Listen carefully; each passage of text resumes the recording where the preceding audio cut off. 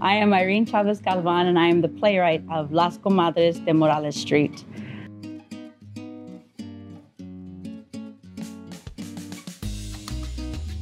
So my play, Las Comadres de Morales Street, is basically a love letter to the west side of San Antonio. It's about these two comadres who share a neighborhood, and they've seen the neighborhood go through different changes. And it's been inspired by my work with seniors in play and learning from our elders who had to survive COVID and the snow and gentrification and are dealing with so many issues. And so the story is really taken out of our own community.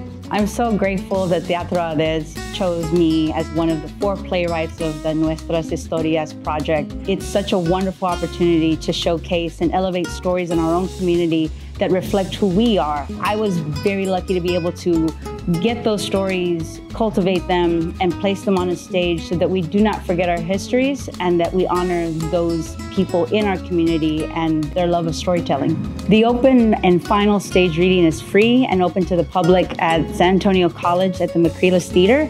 It is on Sunday, April 28th at 5.30, so everyone is welcome. Teatro Audaz has a wonderful website where they have all of their events, including the final stage reading of Las Comadres and others, so you can go to the website to learn more about productions and upcoming events.